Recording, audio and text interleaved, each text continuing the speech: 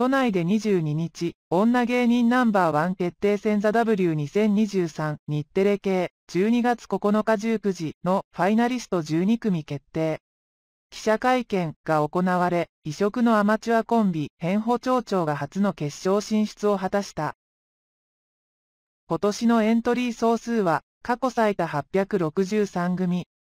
11月13日、14日に東京のルミネ座吉本にて38組で準決勝を行った結果、12組が決定。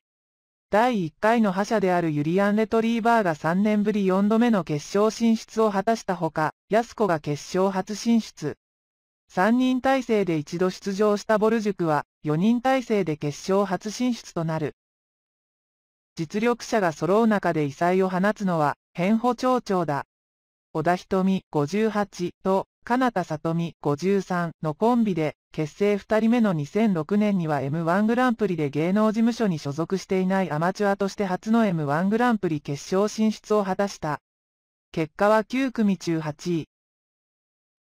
決勝では、12組のファイナリストが4組ずつ ABC ブロックに分かれて、1本目のネタを披露。審査員6名及び視聴者のデータ投票、国民投票枠の合計7票で、暫定1位及び挑戦者を決める勝ち残りノックアウト方式。各ブロックを勝ち抜いた3組が最終決戦を行い、同じ審査員6名と国民投票枠の計7枠で優勝者を決定。優勝者ユニットには賞金1000万円。副賞として、日テレ系番組出演権及び冠特番が贈呈される。